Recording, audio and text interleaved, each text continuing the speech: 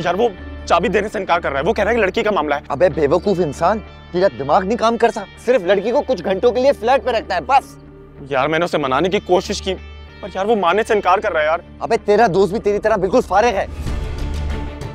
मैं मैं जाके बात करता हूँ उससे।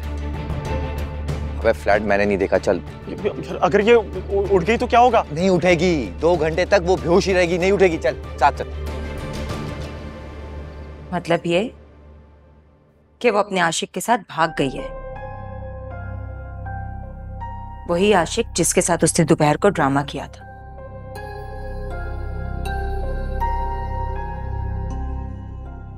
तुम्हें पता है कि तुम क्या बोल रही हो? अच्छी तरह जानती हूँ क्या कह रही हूँ मैं।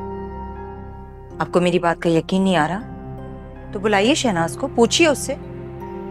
क्या कह कर गई है वो? कि अपनी खाला से मिलने जा रही है। उनकी तबीयत खराब। है जबकि उसकी खाला तो खुद उसका पूछते हुए यहाँ आई है। खुद ही बताइए, कौन ठीक है, कौन झूठा है, कौन सच्चा है? मैं ही गलत थी। गलती हो गई मुझसे।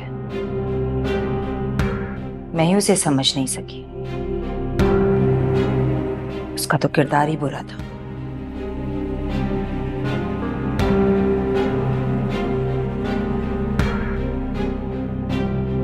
आप ऐसे मुझे क्या देख रहे हैं? जैसे मैं कोई झूठ बोल रही हूँ।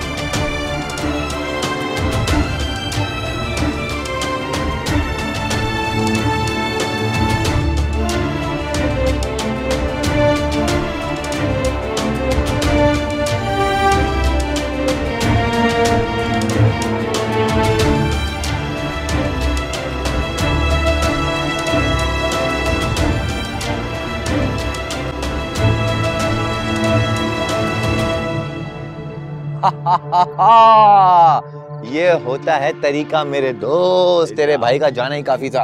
उसने मुझे देखते ही मेरे हाथ में चाबी थमा दी। अबे ज़्यादा रहने दे। तूने उसे बात समझाई तभी उसे बात समझ में आई है। चल जो भी है काम तो बन गया ना अपना। देख चाबी मेरे हाथ में। कहना क्या था? सुबह तक उसे वहाँ रहना। बस। चल लड़की के चक्कर में। ओ हो हो ओबे ओए ओए यासिर ये तो है नहीं यहाँ पे। देख देख देख उस तरफ़ नहीं है नहीं है अबे नहीं है। अबे अबे कहाँ रह गई? कहाँ? चली गई यार कहाँ चली गई वो?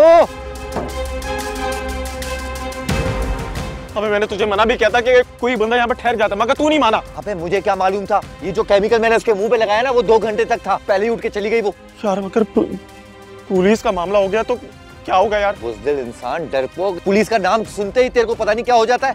तुझे पता है तुझसे बड़ी डरपोक तो ये फल्लो है। पुलिस के साय से भी डरती है। वो कभी भी नहीं जाएगी पुलिस के पास। हाँ जब भी वो यूँ अकेली रात में अंधेरे में भाग गई। यार तू जुल्फी मुझे माफ़ी कर यार।